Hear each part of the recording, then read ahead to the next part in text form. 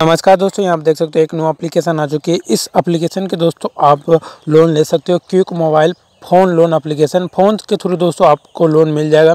दोस्तों, इस एप्लीकेशन को यूज़ कैसे करना है इसका प्रोसेस क्या क्या है इस एप्लीकेशन के बारे में आपको पूरी जानकारी मिल गई इस छोटी सी वीडियो में लास्ट तक बने रहेगा इस एप्लीकेशन को डाउनलोड कर लीजिए। लिंक आपको नीचे डिस्क्रिप्शन में मिल जाएगी दोस्तों। यहाँ पर आपको कुछ स्क्रीन देखने को मिलेगा आप पचास से लाख, दस लाख रुपये तक आप लोन ले सकते हो। अबाउट दिस ऐप में इस एप्लीकेशन की कुछ सिक्योरिटी के बारे में जानकारी मिल जाएगी। इस एप्लीकेशन में प्रोसेसिंग क्या क्या क्या क्या डॉक्यूमेंट वेरिफिकेशन होगा दोस्तों?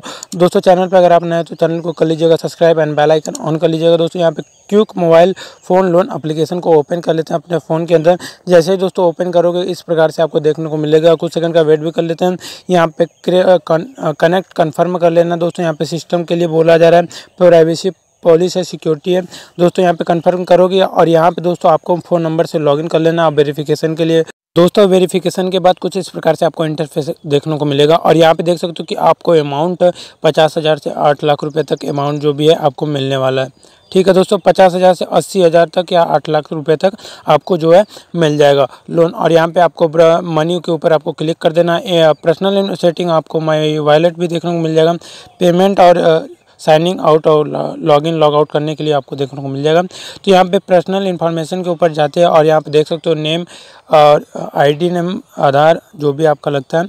और यहाँ पे एड्रेस एज जेंडर सारा कुछ यहाँ पे देखने को मिल जाएगा। और यहाँ पे आपको ईमेल भी आपको देना पड़ेगा।